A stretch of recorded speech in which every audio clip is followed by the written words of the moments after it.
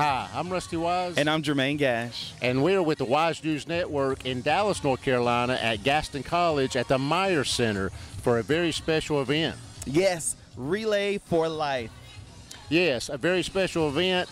The weather is great. They had it here so they could have it inside because of the threat of rain, but it's beautiful out here.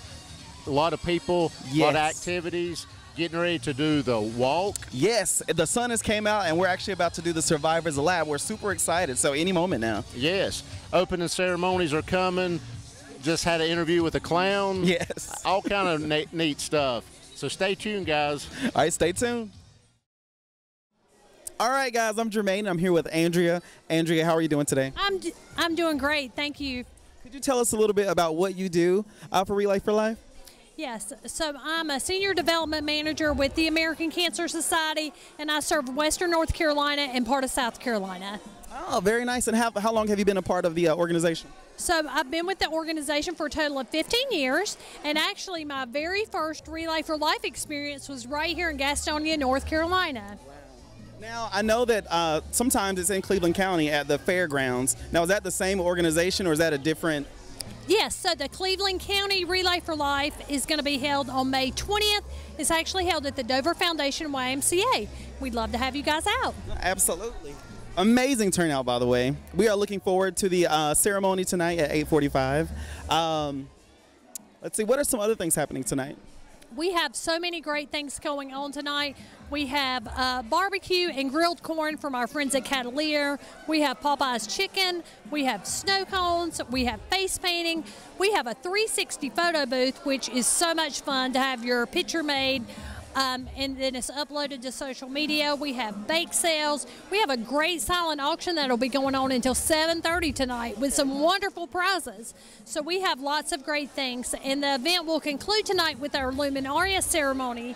There will be luminarias placed in honor and memory, and those candles will be lit about 8:45 tonight. So there's still time to come out. Wonderful hopefully you guys are here. An amazing event, an amazing turnout for a great cause. Also, I think folks are finally warming up at that photo booth as well. So.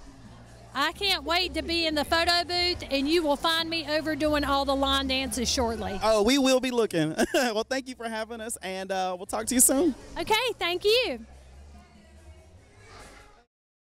Hey there. hey there. Hello. How you doing? Good. And who do we have here? Lampy the Clown. Lampy the Clown. nice to meet you, Lampy. Thank you. Thank you. Are you excited tonight? Uh, oh, yes. Yes. Yes. How many years have you been attending the event? Several years. Uh, what what turnout do you expect today? I know that there was a call for some rain, but I expect since it's uh, cl- uh, cleared up now, I think it's going to be a great turnout. Awesome. Well, we are so excited, and you look great. Thank you so much. What makes an individual want to be a clown? I just am a kid at heart. there you go. He's a kid at heart. Yeah, that's the key, right? Never grow up. Yep, that's right. Well, thank you for chatting with us. Thank you. Good evening, good evening. Welcome to American Cancer Society's Relay for Life of Lincoln and Gaston County. I'm so excited to be here to help celebrate hope tonight, celebrate our caregivers, our survivors, our thrivers. We're all here to help save lives, celebrate lives, and lead the fight against cancer. It's such a great welcome to be here tonight. We're happy to be together again, American Cancer Society Relay for Life of Lincoln and Gaston County. We are better together. Nothing can stop the spirit of the American Cancer Society volunteers and partners and we thank each and every one of you for and your commitment and your support of the cause. I know this event would not be possible without the generosity and support of so many businesses and organizations who stepped up as leaders for our American Cancer Society for this Relay for Life event. This time I'd like to extend a huge thank you to our 2023 sponsors and partners. Our gold sponsors this year, Robert Bosch Tool Corporation, American, American Woodmark, who's going to go right over here. Our silver sponsors are Kettler North America. They're located over here. First Federal Savings Bank, Piedmont Lithium. Our brown sponsors this year are Lincoln Animal Hospital, Bloom, CaroMont Health, They're set up inside here to be sure they did the survivors. Thank CaroMont, Timken, Owens Corning, Hearing Healthcare Centers, Array of Hope, Atna Care, North Carolina, American Woodmark, Ava's team, Miss Gastonia team. Where's she at? She's going to be singing for us here in a minute. All right, yeah. Bethphage Lutheran Church, they're over here. Bloom Run Club, CaroMont Health, Candler North America, Cedar Grove Lutheran Church, they're set up over there. Covenant Bible Lincoln, Fighting for Dania, Fishing for a Cure, two fishing for cures. We like to fish. Florissant Creations, Gaston College Rhino Nation, Gaston County Public Library, G. Massey Elementary School, all right. GECMS Rodriguez, all right. Highland School of Technology. They provide a lot of volunteers today to help set up the luminaries and all the work, so we certainly appreciate them. Holy Cross Lutheran Church, Just Keep for Calls, Just Keeping for Calls. Capita Sorority, Knocking Out Cancer, Laboratory United Methodist Church, Lay Laurie and Associates, EXP Realty, Lincoln County Committee, Locked and Loaded, Messiah Methodist, Northbrook, all right, Messiah, they're over there, Northbrook Blue Jays, Owen Corning, Gastonia, Piedmont Community Charter School, right, they've been helping volunteer as well, Robert Bosch Tool, Rock Spring School, Rowdy 2, here's one, Stacy Squad, everybody from Stacy Squad, yeah, Stress Free Home Care of Stanley, and the Pope Sisters. And again, once again, thanks to DJ Wavy Williams for donating his time, WSCG 91.7 to Gaston College. Uh, also, we have a signature sponsor, Carolina Federal Credit Union. And of course, Gaston College is our host and generous sponsor for all we do. Let's hear another cheer for all of our sponsors. So this time I'd like to call uh, Ava come up front and do our national anthem. Oh, say, can you see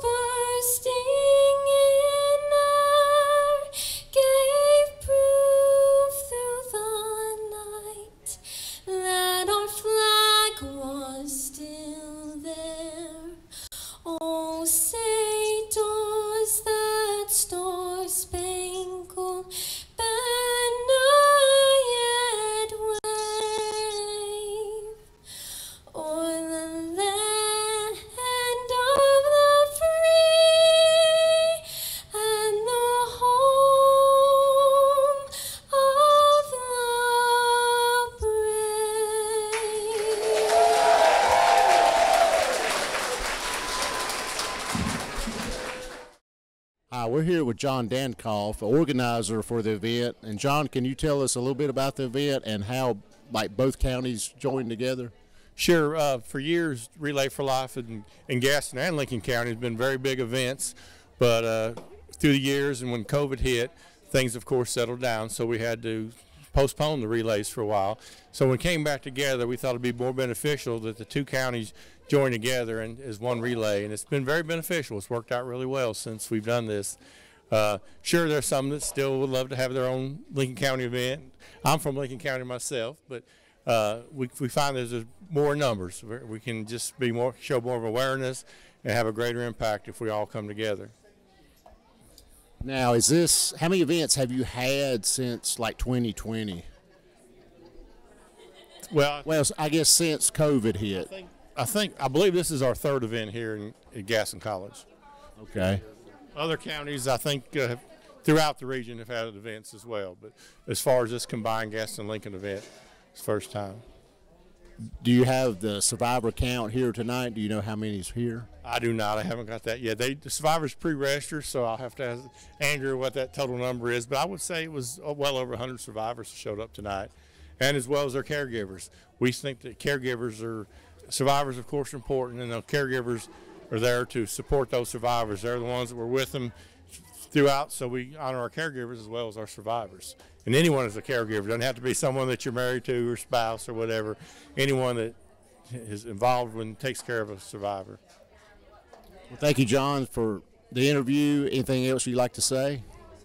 No, I'm just uh, appreciate everyone's turnout. Uh, certainly, uh, we're fighting the fight and earning, raising some money. And there's even though cancer has not stopped, we know that now it's not a death sentence like it used to be. That there is survivors have hope that there can be a cure, and there will be a cure. Hey guys, I'm Jermaine with the Wise News Network, and I'm here with. Linda Ray. How are you doing today? Good. How are you? Good. This is a wonderful turnout today. It smells so good. How long have you been coming to the Relay for Life? Since 2009. Since 2009. And I noticed that you are a survivor. Amazing. Thank you. It's so good to have you here. And could you tell us a little bit about your journey?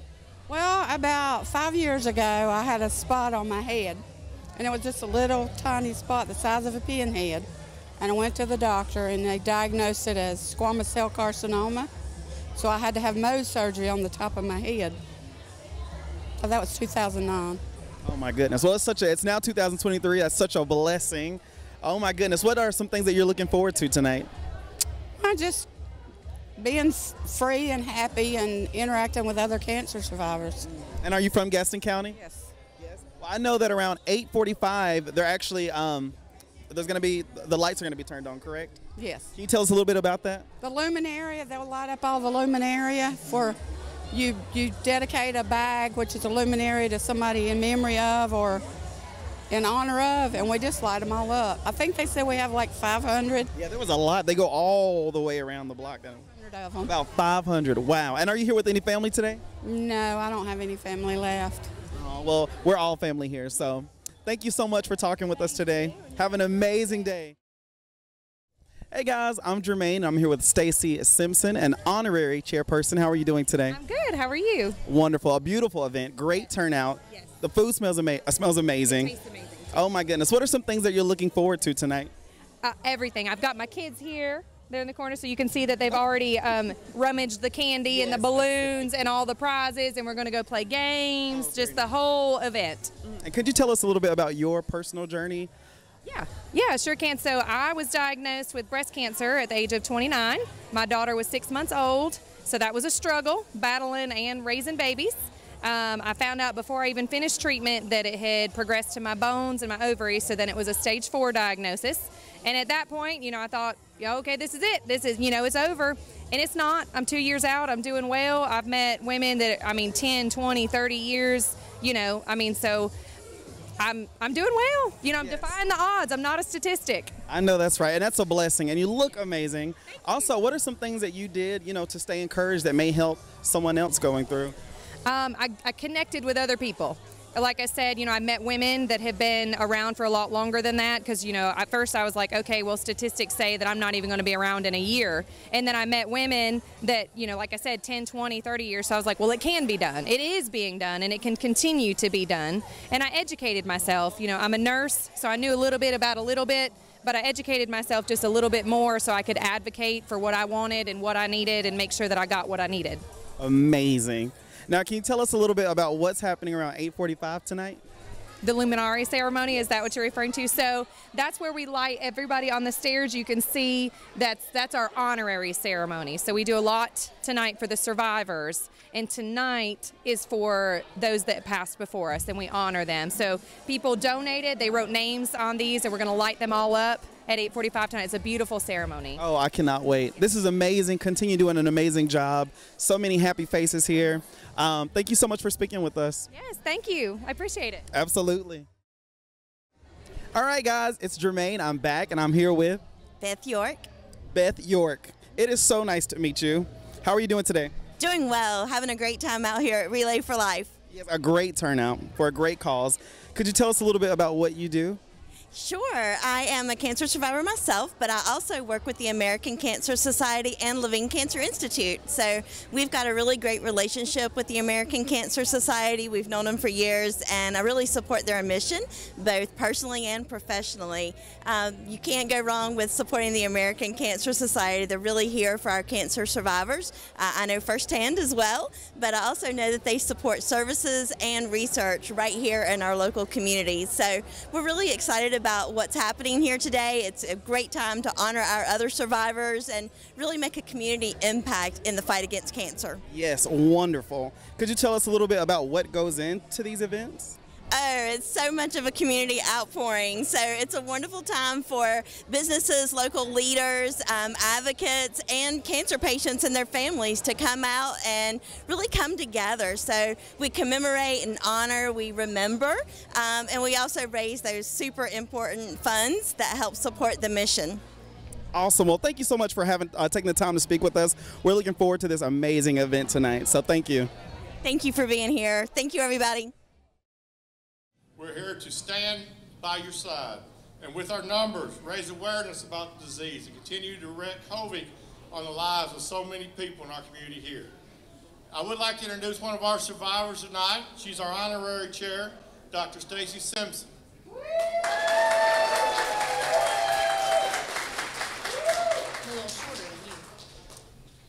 So they gave me a little bit of a script here, but I'm just, I think I'm just going to speak from my heart tonight. So, my name is Stacy Simpson. I actually work here at the college. I teach nursing, so extra shout out, Gaston College, go Rhinos! I am now 32 years old. I'm two in two years into this cancer journey. I have um, stage four metastatic breast cancer, and I'm doing well, defying the odds, and I'm gonna keep doing it. And.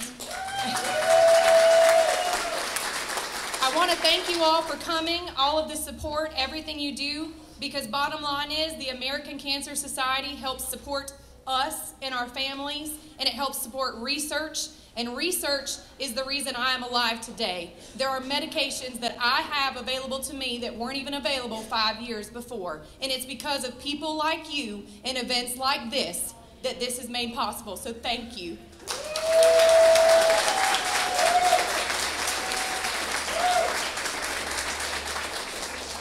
You know that through the American Cancer Society, we have served 3.2 million patients in the last decade?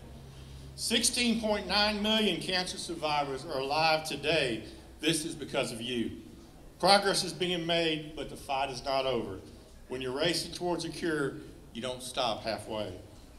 Did you know that thanks to the dollars we raise a day, if you or someone you know is facing any type of cancer and needs help, the American Cancer Society to provide information, answers, and emotional support. Our toll-free number is 1-800-227-2345. But if you've been around a while, you know it is 1-800-ACS-2345. 227 ACS for those old folks that have the touch-tone phone is available. And that service is available 24 hours a day, seven days a week, 365 days a year. There's been people that have been diagnosed on Christmas Eve that's called that number on Christmas because they couldn't sleep and wanted some answers and were able to get answers. So please write that number down somewhere. Remember that number. Go to cancer.org website to find that number and you can talk to a real live person 24 hours a day, seven days a week. So tonight, we brought this inside here because, you know, there was a threat for rain, and if you want to rain in your air, you just plant a relay, and that normally, I've been doing this for almost 30 years now, and uh, the farmers in Lincoln say that if they want rain, they hang a Relay for Life t-shirt out, and they're uh, getting rain, so, but uh, we thought we'd better safe than sorry, and I think it's going to be really nice inside here, just like we've got plenty of stuff not only here, but also come inside. We have a silent auction inside. We've got other teams set up inside. Just something going on all over the place tonight. So please enjoy the food, music, and don't forget to keep those bids coming in for the silent auction because all the money raised tonight will go directly to this Relay for Life event. I ask that you please, all please respect the meaning of this ceremony embodied by remaining silent. This is a time for us to reflect on the lives of those we've lost, remembering their friendship, love, and contribution to our lives. It's a time for us to reflect on how cancer has touched us personally. It's a time for us to look inside ourselves with quiet, reflection to find hope. No matter what our experience with cancer has been, we all share the hope that we will one day live in a world where our friends, families, neighbors, and coworkers will never face a cancer diagnosis or endure the sadness, stress, and uncertainty that cancer can bring. More than 30 years ago, a man had a vision. His vision was a world without cancer. Little did this man know that the track he ran in the darkness would soon transform to a field of brilliant luminaria, each one representing a name, a face, a smile, and a treasured memory. And as each year passed, more people took to the track. The flickering light became this man and those who journeyed his journey, and in time, that one man's vision became a reality.